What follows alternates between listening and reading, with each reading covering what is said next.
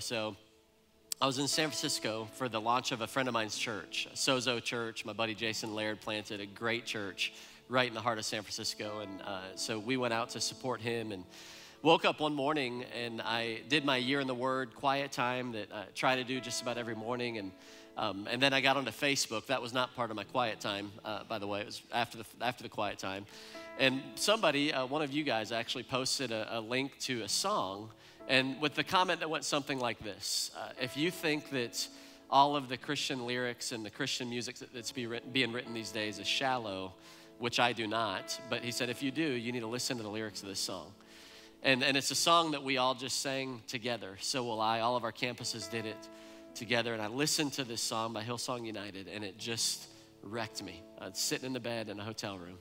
And I woke Lisa up, and I was like, Lisa, you got to listen to this song and she listened to it and she had the same reaction. It was like, man, the lyrics and the truth and the song just kind of messed messed with me. And so I immediately texted Brandon and Tara and Nate, some of our worship team, and said, Hey, have you guys heard this song? And had some ideas. Like, we need to sing this song. And, and they began to listen to it. And together we, we decided to, to name this series that we're starting today, So Will I. We knew we were going to do a worship series because how can you do a year in the Word?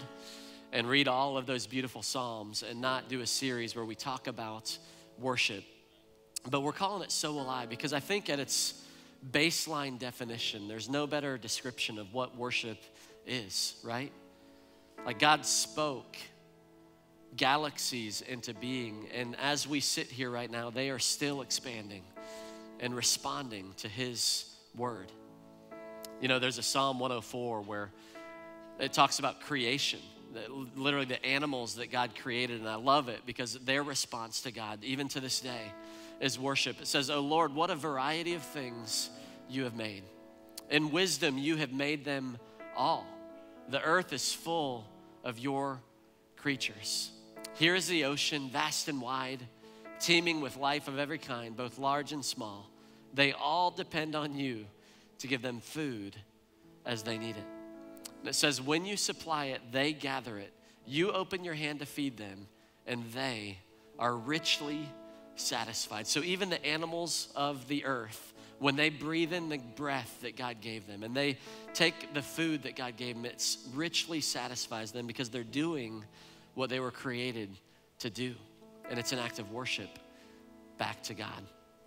There's this moment in Jesus' life towards the end of his earthly life when he's going back into Jerusalem on a donkey. You guys may remember that. It's the triumphal entry. It's the last time he would go back to Jerusalem.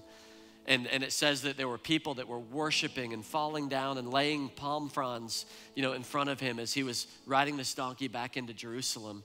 And one of the Pharisees gets mad and says, Jesus, you better stop them from worshiping.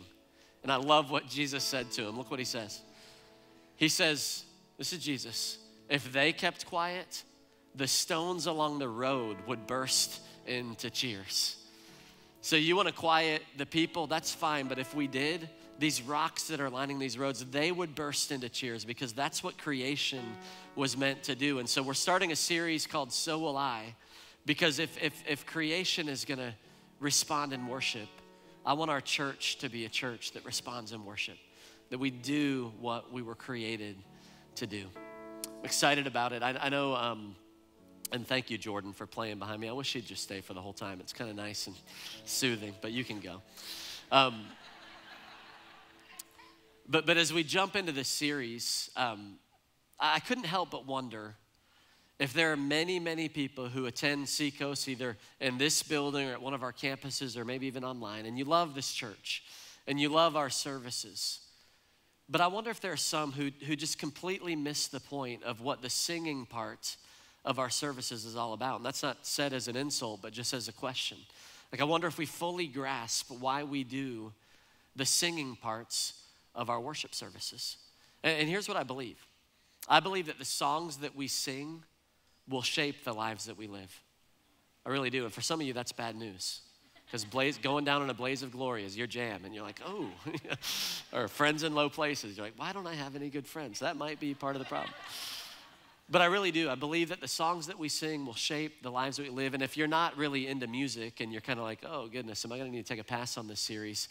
I just want to encourage you. We're going to talk about a whole lot more than the singing part of our services. We're going to talk about other aspects of worship. But, but if you feel that way about the singing part, then there's a good chance that you, you're supposed to be here during this series. This would be a series where God would stretch you because the songs that we sing shape the lives that we live. And there's really probably not a better example of that in Scripture than, than Moses. You guys remember Moses? You saw the movie, right? Uh, you know, Ten Commandments. You know, Moses, we know him for kind of this season of his life where he came into Egypt and he rescued God's people out of the, the, the state of slavery that they were in. And he helped to, to, you know, God parted the Red Sea through Moses and he brought down the Ten Commandments and all these incredible miracles and moments in the life of Moses.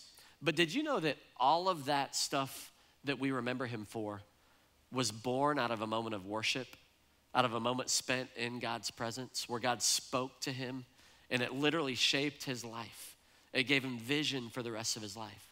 And I'm really believing and praying that as we kind of journey together on this series, that there may be some of you who are here that God may speak and it may change the whole trajectory of your life.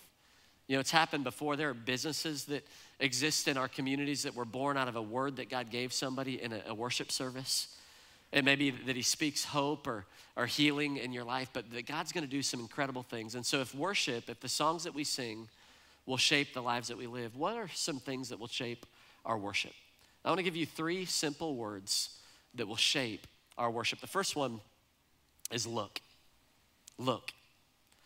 So, so I told you that that significant portion of Moses' life was born out of a moment that he had in worship. And what I want to do is I want to look at that moment together because you may not know this, but Moses, the first 40 years of his life, he was actually in a, grew up as a, as a child of the emperor, of Pharaoh. Uh, so he was, you remember, he was born a Hebrew boy, and, and at the time there was a kind of a decree that all the Hebrew boys had to be killed. And so he was put into this little basket. We call them Moses baskets now. We had them, you know, for all of our kids. But, but literally, he was floated into the Nile River, and Pharaoh's daughter finds him. And so he becomes adopted, and he grows up for first 40 years of his life in, in royalty as a Hebrew guy adopted into this royal family. And then at 40 years old, he's out and about and he sees a Hebrew person, someone he identifies with his heritage, being abused by an Egyptian person and he acts out in rage and he kills, he murders this Egyptian. Well, other people saw it, and so the next 40 years of his life is spent on the run. He, he flees, he has to get out of there, and for 40 years, he's with his father in law, Jethro, as a shepherd, basically tending sheep. And this moment of worship that he has that changes the rest of his life happens when he's 80 years old. And I say that because there may be some of you that are here this weekend and you think, well, maybe I'm too old to get a fresh word from God. Maybe, maybe the best in my life is already behind me, and I want to encourage you that that's not the case. Or maybe you're here and you go, well, if you knew what I've done, I've made some mistakes, or there's some stuff in my past that God may, may not want to give me a fresh word for the future. Well, Moses had killed a guy and run. Uh, and so I, I, think we're all on level playing field that, that if we're open to it and if we'll look, that God might speak to us. And, and all the more reason for us to look. Here, here's what happened. Look at the story. Moses, remember he's 80 years old now, he was keeping the flock of his father in law, Jethro, the priest of Midian. And he led his flock to the west side of the wilderness and came to Horeb, which was known as the mountain of God. And I think that's significant because there was some reason why he knew that there was something sacred about this mountain. God had done something there. And, and so when we talk today, we're really going to talk about what happens in our worship experiences as a church, although worship floods every part of our life. But today I want to build a foundation about what might happen in the mountain of God or in the house of God and, and, and church as we come.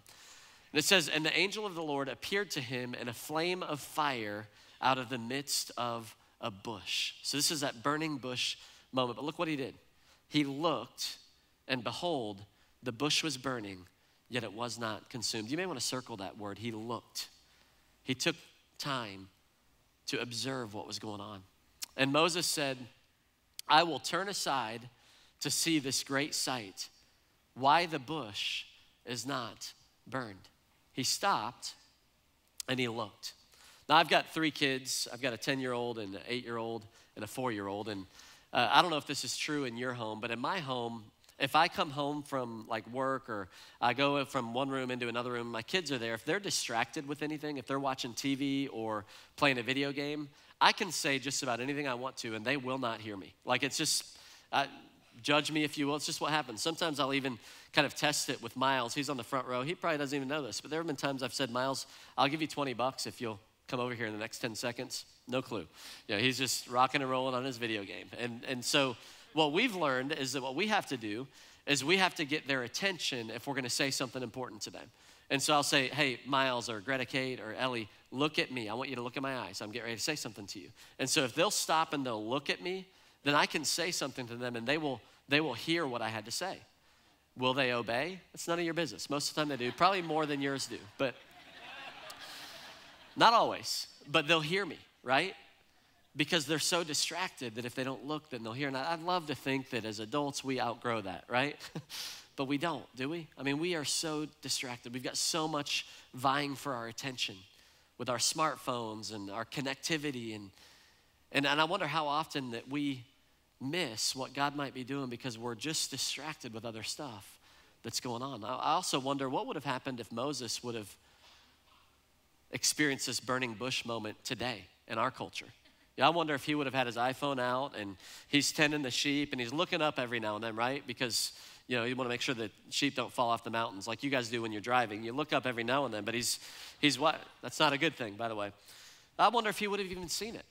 If he would have even noticed that there was a burning bush in his presence because he would have been so distracted, which is why it's so important for us to look. And I just want to encourage you during this series to look for what God is doing.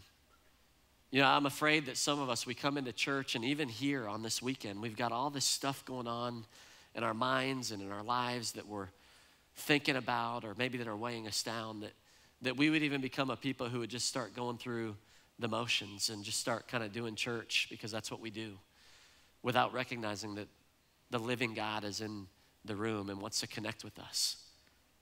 We just got to look, got to draw near.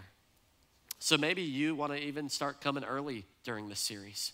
To go, I'm going to do, I'm going to go, I'm going to break the mold a little bit to, to look. Maybe you come into the worship center and just kind of quiet yourself to get you in a place where you're looking. I know one of the things that I'm doing during the series, it's been very hard for the first week because I love sports radio.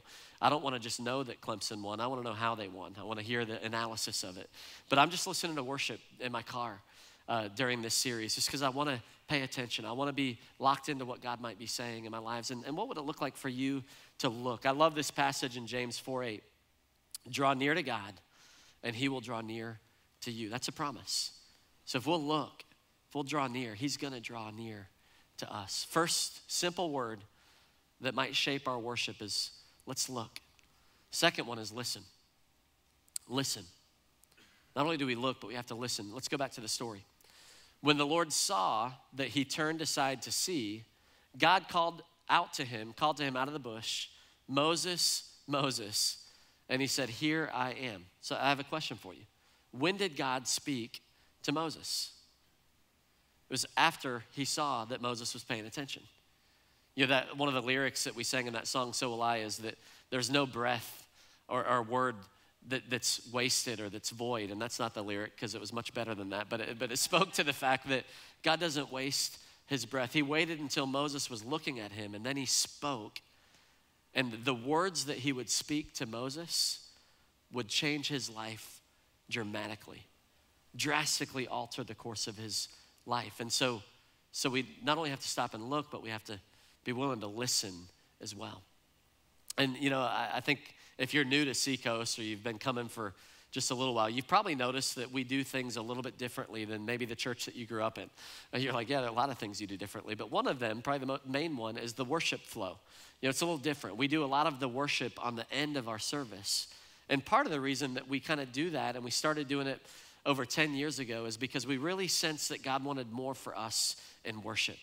And that uh, unfortunately, for a lot of us, it takes us about that long to get to a place where we can stop and, and, and listen and, and hear from Him. But, but we ask the question what's God saying to you at the end of every message? And in one sense, God's basically saying the same thing to all of us because you're all hearing the same teaching week after week.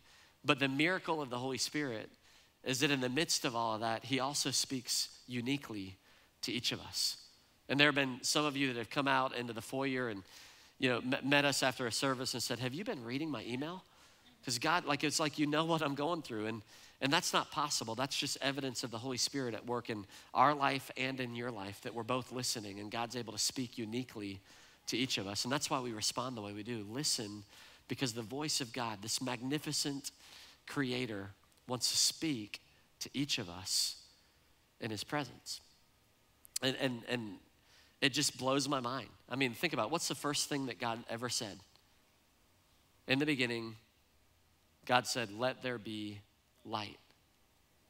And, and as he utters these words, show you how powerful the words of God are, boom forms the sun that we here on planet Earth are located 93 million miles away from it because if we were any closer, it'd burn us up. Like that was out of the breath of God. That was out of one word from God. And yet, that same God, with all that power, wants to speak life and breath and hope and healing into us, but we have to be willing to listen. What's God saying to you? So, three simple words look, listen, and the third one is lean in. Technically, that might be two words, but I put a hyphen in it just to make it one. And so, so, so lean in. lean in. Look what happens in, in the story with, uh, with Moses. Then he said, This is God talking, do not come near, take your sandals off your feet, for the place on which you are standing is holy ground. So God wants him to know this is special, this is unique. And he said, I am the God of your father, the God of Abraham, the God of Isaac, and the God of Jacob. And Moses hid his face because he was afraid to look at God. And what, what I love about that passage is that when Moses realized what was going on, he got uncomfortable. He took his shoes off. He hit his face. He, he, he stretched out of his comfort zone. He knew the magnitude of the moment. And so he was willing to lean in and to listen to God. And here, here's, here's my goal for this series it's going to be awesome. We're going to do some things differently that we've never done before. You're going to hear from some different people, and, and it's going to be great. But what I want to encourage you and ask you to, to kind of consider is would you be willing to lean in during the series? Would you be willing to get out of your comfort zone a little bit as it relates to worship? And, and let me say this there are some of you, you're here today. Maybe you were invited by a friend. Maybe you're here for the very first time. And you being in church right now feels out of your comfort zone. And I say, great job you're doing this you're already stepping in you're, you're in an environment you're not you're not used to and, and you're out of your comfort zone and it's usually in those moments that god meets us but there are a lot of us that we become very comfortable with kind of what we do in worship. And we just kind of go through some motions. And I just want to invite you to, to get out of your comfort zone. And what I mean by that is be willing to express yourself. Not just to, to know in your mind that you love God, but to express that in different ways. And, and, and some of you are like, dude, you know, I'm just not a very expressive person. Like, that's just not how I am. And you know what? I've seen you at football games, and yes, you are. I've seen you go nuts over some people that you don't even know uh, have any connection to whatsoever, except they wear your team colors. So why wouldn't we be that much more expressive to God in worship? To just express, He died for us. He laid down His life for us. So I'm inviting you to lean in. How many of you are married in the room? Just show of hands. I'm not calling out the singles. I'm just, uh, you're married. Okay, a lot of you. What if you told your spouse, you know what, I love you, and we got married, but, but I'm not going to express that anymore, really. I'm not going to tell you that. I'm not going to hug you or show you affection in any way. You know, w- women are leaning into their husband's ears right now going, don't even think about it. Like, because relationships don't work that way. We continue to express how we feel, and, and that's what I want to invite you to do. And so, for the rest of our time together, I want to talk to you about a few different expressions. And if you come to church and you look around, you've probably seen these things happening. You've seen people expressing themselves to God in some of these ways. And I just want to look at them uh, one by one. Why do we do some of these things? What, what's going on? And uh, most of them, all of them that I'm going to talk about today, these aren't things we made up on our own. These are things that are in Scripture. These are things that, that the church, the people of God have been doing for, for ages and ages and ages. So, how do we express ourselves in worship? A few of them for us. Number one, clapping. Clapping.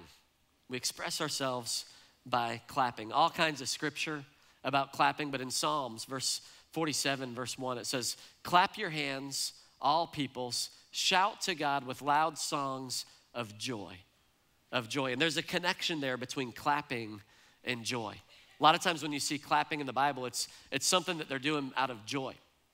And we still do this today in our culture, don't we? I mean, my son plays soccer, and we're gonna go watch him play. He scored his first goal two weeks ago of this season. And when he scored that goal, you better believe we were like, yeah, all right, cheering, clapping, going for it, because it was joy. And out of our joy, we clapped for God. So, so why do we clap in church? Is it to say, hey, good job, worship team, y'all are doing a great job? You know, for some of us, that may be what you're thinking when you clap, and, and that's, that's fine. They're, I'm sure, grateful for it, but that's not why we clap in church. We clap because of an attitude of joy, saying, God, I'm so thankful for all that you've done in my life. I, I know I'm not where I need to be, but I remember where I was, and I remember what you've done, and I'm just clapping as an expression of the joy that I feel in your presence. You know, we also clap to, to acknowledge victory to the enemy. I was watching basketball the other day because my Cubs aren't playing baseball anymore. I don't know if y'all noticed that, but this wasn't our year, but wait till next year. Um, I was watching, have y'all seen Lonzo Ball? He's this uh, rookie out of uh, LA. A lot of controversy around him because his dad's kind of got this attitude and cockiness. Well, he was playing in his first NBA game, and they were playing against the Houston Rockets. And Patrick Beverley is the defender, and he's known to be a great defender in the NBA, was guarding Lonzo Ball. And within the first couple of minutes of the game, he knocked him to the ground and he basically got up in his face and he clapped in his face to say, like, this is not gonna be your day. And I don't encourage you to do that with the people in the row next to you in worship. But I do think there are some times that, man, we clap at the enemy to let him know, hey, you're, you're under my feet. And, and you may have plans and you're going to attempt to do some things in my life, but I'm just reminding you that I'm in victory. I've already won, and you don't have any place in my life. I'm going to clap and express victory over the enemy. So we clap sometimes. We do it in worship. Some of you are very comfortable with that, some of you aren't. I encourage you, maybe that would be an area God would say, why don't you lean in? You know, express yourself in that way. Another one is shouting. Shouting. Ah, we got some shouters in the house. Some of y'all sat next to a shouter. You're like, man, my ears are hurting, you know. But why do we shout? Why is shouting such a big deal? Shouting, again, is all throughout Scripture, but probably the most famous place that at least I remember it from is, is in the Battle of Jericho. Do you guys remember that? Uh, after Moses had led them to the promised land, Joshua led them into the promised land, and then they had all these battles that they had to fight. And one of them was the Battle of Jericho. And so God said, Here's what you're gonna do. You're gonna go to Jericho. You're gonna, for six days in a row, you're just gonna march around the city walls. And on the seventh day, you're gonna march around the city walls seven times, and, and you're gonna shout, and you're gonna celebrate, and you're gonna declare the victory. And then, after you shout, the walls are gonna fall down. Now, I like to put myself in these stories. Like, what would I be feeling and thinking? We already know how that story ended now, so we know that the walls came down. But if I'm in this story and the walls haven't come down yet, I might make a suggestion to God. Like, why don't we shout after the walls go down? You know, like, it might be good to, I mean, just uh, what, what if they don't go down? Then we've looked a little foolish shouting prior to, but, but the reality is that shouting in Scripture oftentimes is something that happens before the promise is fulfilled before the victory is won. It's, it's something we do in faith to kind of remind ourselves of things that we know are going to happen but haven't happened yet in our lives. And I wonder if there's anybody who might be here this weekend and there's a promise over your life that hasn't been fulfilled yet. That would be the time to shout. I wonder if there are some who maybe are single but you know that God hasn't called you to be single for all of your life. You have a, your heart's desires to get married. Maybe you're in that season where all your friends are starting to get married. And you're wondering, God, are you going to come through on this promise? Now is the time. That would be a good time to shout. There may be some of you that, come on. She's right back there. I'm just saying.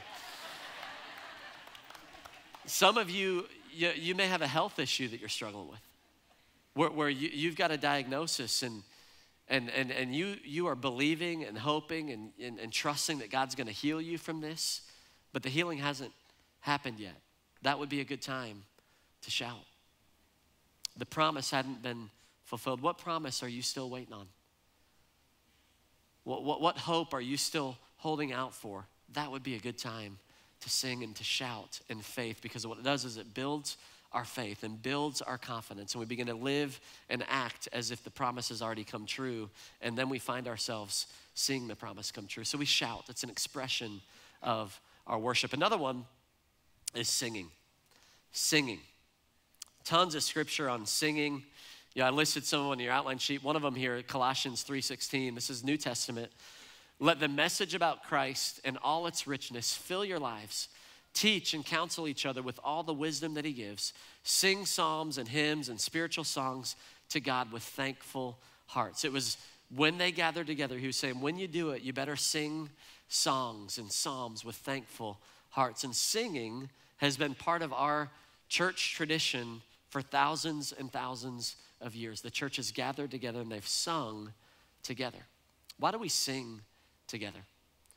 You know, I, am not particularly very good at singing, if I'm just being honest. Some of you have heard that. You may get a chance to hear it in just a few minutes, but I'm just not. That's not a gift of mine. But man, singing, I love to do it. And part of the reason why we have the volume up here, thank you for the comment cards, by the way. But part of the reason that we do that is because I don't want to hear myself sing, okay? My voice is not that great. We, want, we don't want there to be any barrier uh, to, to you really going after God and expressing yourself. And so we do have the volume up a little bit because we want to be able to sing with abandonment, not worried about what I sound like or what other people might think about it. But why do we do that? Why do we sing? A couple of thoughts about singing. One, it helps us to remember the truth. You know, think about that. How many of you know the English alphabet? You got that down, Pat? Most of you? How did you learn that? You learn to sing your ABCs, right? A, B, C, D. And, and we know that as kids, we're raising up, you put a song to something and they'll remember it a little bit easier. And so when we sing the truth about God's word, it helps us to remember and to internalize and memorize truth. On Thursday morning, I was getting ready for work, and my daughter, four year old Ellie, was downstairs. And I heard her singing a song that honestly I don't think I have heard in over 20 years, like an old school worship song. And I'm like, what is going on there? So I started listening, and sure enough, she's singing. And she's singing, I love you, Lord, and I lift my voice to worship. I don't know where she learned it.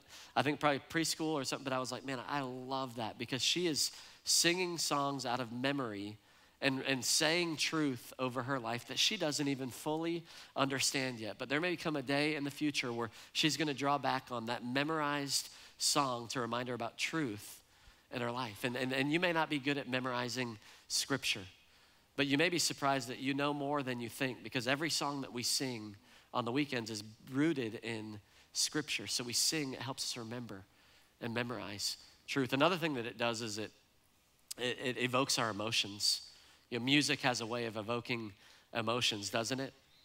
Yeah, I still, I told you earlier, but when I first heard that song that we sang together, it just wrecked me. And when Tara sang it here at this campus about 20 minutes ago, it wrecked me again. Like my emotions were engaged in worship, and music has always done that. And there are some that may manipulate that for, for poor reasons, but, but I would just encourage you as we sing together, maybe um, it's difficult for you to express emotion.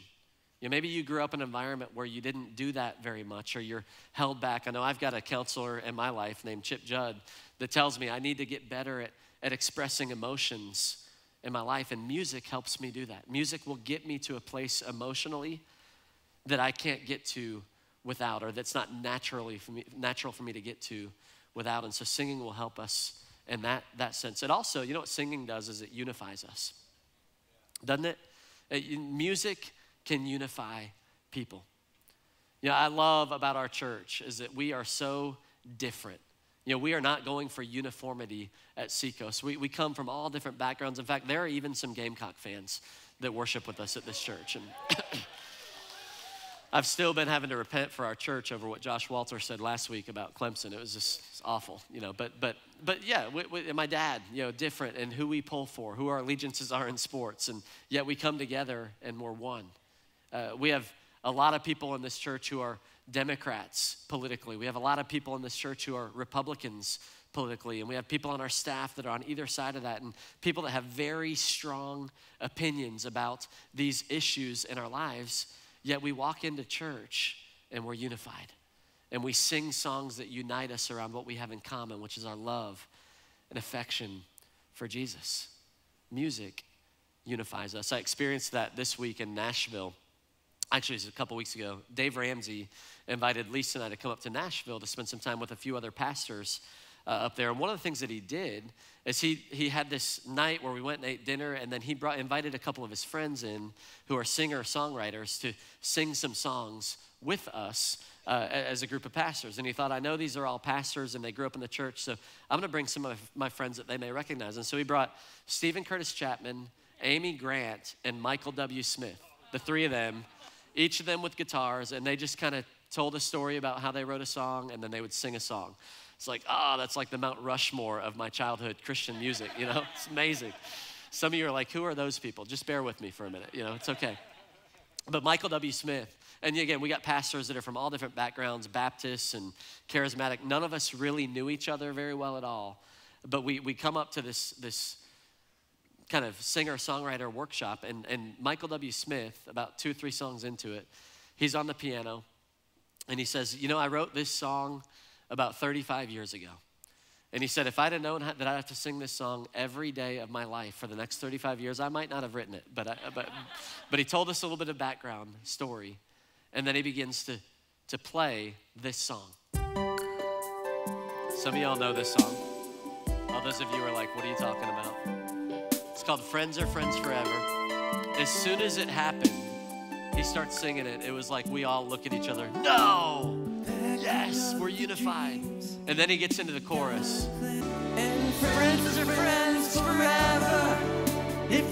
Oh man, I, we are all thinking about every kid who has moved away from youth group, and we sang this song and sent them off every graduation. Like it's like unifying. We're holding hands, singing. We don't know each other, but we are one around friends are friends forever.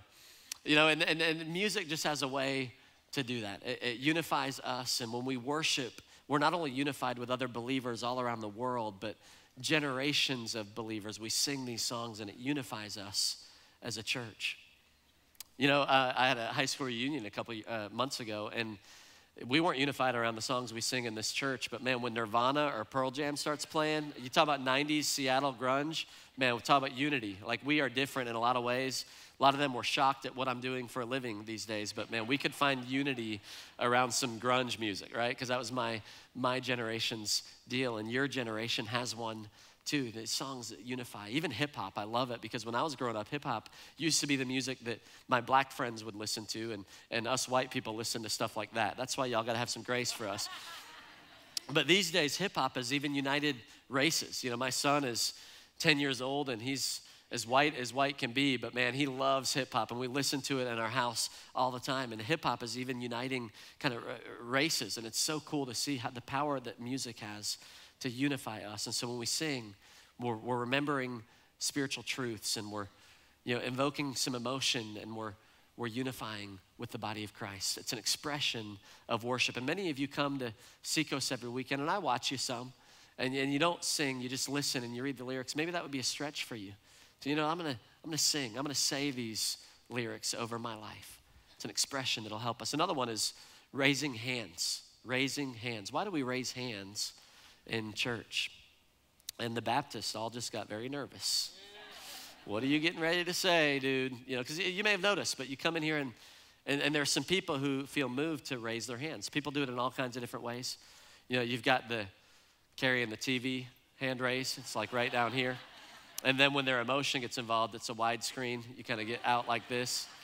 Some of us are a little more reserved and we're kind of right in here. You know, we're kind of, this is how big the fish was, raising hands. It's like just keeping it right here. You got the single woman raising your hands. You know what I'm talking about? It's left hand, it's up. There's no ring on it. I love Jesus and there's no ring on it. I just want you to know you got the real emotional, you know, you, you got kind of the, the beauty pageant, you know, wave. You know, they're kind of all over the place. They're waving to everybody, we're raising our hands. But why, why do we do that? You know, why do some people raise their hands in worship? It happens all throughout Scripture as well. A couple of thoughts around that. Number one, it's, it's expressing a desire to be closer to God. Yeah, I mentioned my four year old daughter. My, my older ones don't ask me to hold them very often anymore. I'm glad because my back can't handle that. But my, no, not right now, Miles. he, just, looked up at me like, but, but Ellie, man, my four year old, she'll reach, reach her hands up. And man, I am a flawed dad and I make a lot of mistakes. But when, when she expresses a desire to be close to me, you better believe I'm going to lean down, I'm going to grab her, and I'm going to hold her close because I know these days go away before too long. But how much more does our Heavenly Father, when we reach up our hands, just say, God, I want to be, I want to be closer. Maybe I don't feel closer right now, but I want to be closer. He leans down and he, he draws near as we draw near to Him. It's also an act of surrender. And you raise your hands as an act of, of surrender in various situations in our culture. But in worship, I know for me, I, I love God, but sometimes He asks me to do things that are hard yeses, that, that, that don't come naturally for me. And there are these moments that I'll have in worship where I'll just raise my hands. And for me, it's a way to say, God, I surrender to you. Not my will, but yours. I'm, I'm going to stop fighting. I'm going to stop trying to do it my own way. And I just, I, I surrender. And something powerful happens in those moments. It can be victory. You know, we, we aren't afraid to raise our hands when our team scores a touchdown, right? And so there are times that we're worshiping, we raise our hands just as a way to say, Yes, God, I claim the victory. I celebrate the victory. But raising our hands, expression of worship. One more for you as we close bowing and kneeling. Every so often, you may be in a worship environment and you may just sense the Holy Spirit saying, Hey, I want you to get down on your knees. I want you to bow. And it's not as culturally um, normal for us these days, but when the Bible was written, there were kings and queens and emperors, and it was very normal that if you came into the presence of a king, you bowed down. It was a sign of reverence, it was a sign of honor, it was a sign of humility. You were kind of laying yourself low before the Lord. And, and, and I wonder if it wouldn't help us every now and then. And in our culture today, where there's so much kind of pushing us towards, you know, whatever, self gratification, say, you know what, God, I, I just humble myself and acknowledge that your ways are higher than my ways. And I want to honor you and I want to revere you in your presence. So, different expressions of worship. Here's what I want to ask you to do. We're going to be in this series for about four or five weeks. Where are you comfortable? And are you willing to stretch a little bit? Are you willing to stretch?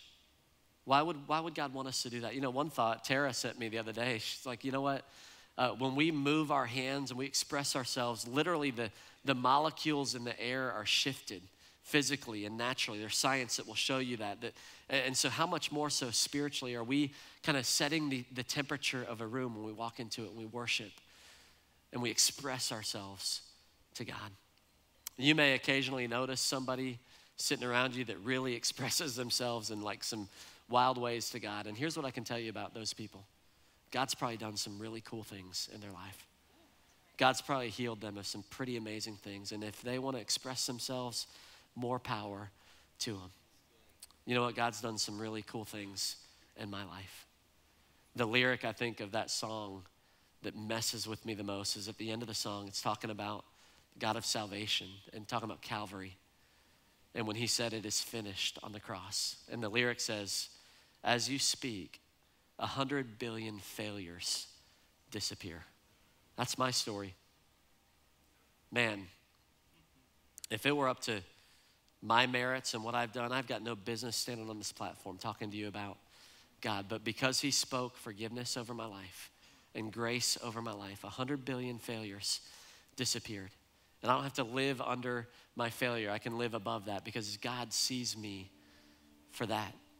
And maybe you've never experienced that yourself, and I would encourage you, you can do that this weekend. That's the simplicity of the gospel, is that Jesus did it he came, He took our sin, our shame, our failure on the cross, and He overcame death so that our failures could disappear too. That's the gospel. You just have to say yes to Him. But you know what? A lot of you are here this weekend and you've experienced that. You've experienced God's grace and God's forgiveness. And so I invite you to stretch, to reach out of your comfort zone a little bit, to lean in see if God doesn't want to meet you here. I believe the songs that we sing and the way that we worship will shape our lives. Let's worship over the next few weeks as if our future depended on it. There's a burning bush in the room right now. Do you see him? You recognize that God's presence is here among us. Are you willing to listen? God, what are you saying to me? And are you willing to lean in and worship? We're going to respond in all of our campuses in just a couple of minutes. And we're going to do all the things we normally do here at Seacoast. If you're new, we have a cross, and maybe that's your way of shouting. Just kind of, there's something, there's a place of faith that your faith's being stretched and you're waiting on a, a promise to be fulfilled. And maybe you want to go to the cross and write something out there to say, God, I need you. Or maybe you want to shout as we worship together. We're going to take communion together. We've got prayer teams that'll pray for us and light candles. And, but then we're going to sing and we're going to celebrate and we're going to worship. And I invite you to lean in. Would you pray with me as we close? God, I'm so thankful for what you've done in my own life. That 100 billion failures that you can't see because all you can see is the grace and the love that you've offered through your son, Jesus. What a humbling thought. God, I thank you that that is your heart for each and every one of us.